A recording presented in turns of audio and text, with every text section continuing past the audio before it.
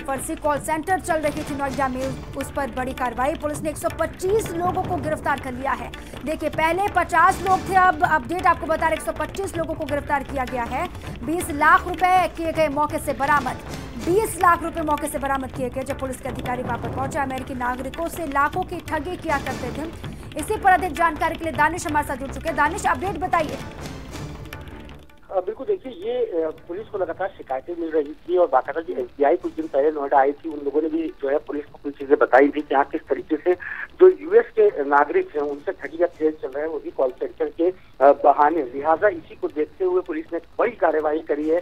अगर देखा जाए तो एनसीआर में इससे बड़ी कार्यवाही अब तक नहीं करी गई। सेक्टर तिरसठ में ये पूरा गैंग चल रहा था और वहाँ पर पुलिस ने जब छापेमारी करी है रात की सारी छापेमारी चल रही थी और इसके बाद जब जिन लोगों को गिरफ़्तार किया गया, एक सौ पच्चीस लोगों को जो है गिरफ़्तार किया गया है। इनके पास तकरीबन बीस लाख रुपए बरामद हुए हैं। और कई ऐसी ऑडियो रिकॉर्डिंग है ऑडियो क्लिप है जिसमें साफ़ साबित होता है किस तरीके से सोशल सिक्योरिटी के नाम पे ये लोग जो है अमेरिकन नागरिकों को डराते धमकाते थे। अलग अलग तरीके हाँ। से उनको बताते कि बताते थे कि हाँ पुलिस का खतरा हो सकता है। या फिर उनके जो है और भी चीज़ें कि हाँ आपका पासपोर्ट या आपका वीज़ा इसका कुछ हो सकता है। इसी तरीके से ये लोग जो है इन लोगों से ठगी का खेल करते थे और सबसे हाँ। बड़ी बात ये पूरा नेटवर्क दुबई से ऑपरेट किया जाता था यानी दानिश इतने बड़े स्तर पर ये खेल चल रहा होगा क्योंकि पहले 50 लोग अब 125 लोग अभी कहा जा रहा है कि और भी लोग हो सकते हैं जिनकी गिरफ्तारी हो सकती है तो कितने बड़े स्तर पर ये चल रहा होगा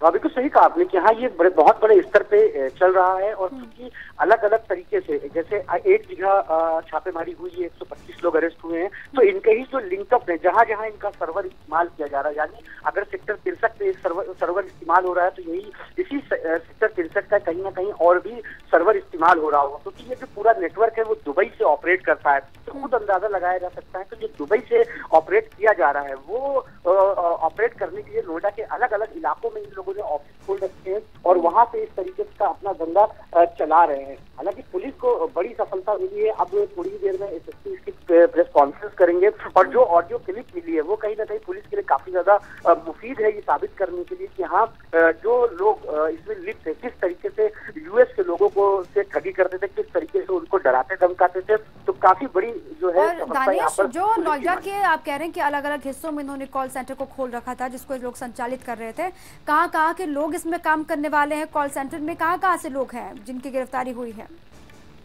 देखिए जितने लोग भी गिरफ़्तार किए गए ये सारे के सारे ऑपरेटर हैं और इसके अंदर तीन ऐसे लोग हैं जो चलाते हैं जिस जो पूरी तरीके से को कहा जा सकता है हम्म। लिहाजा जितने भी लोग गिरफ़्तार हुए हैं सब कोई नोएडा का है कोई दिल्ली का है अलग अलग। मतलब देश, देश के कई इलाकों के जो लोग हैं वो यहाँ पर ठीक है दानिश शुक्रिया आपका तमाम जानकारियों के लिए लखनऊ से बड़ी खबर है पीसी उपाध्याय को सेवा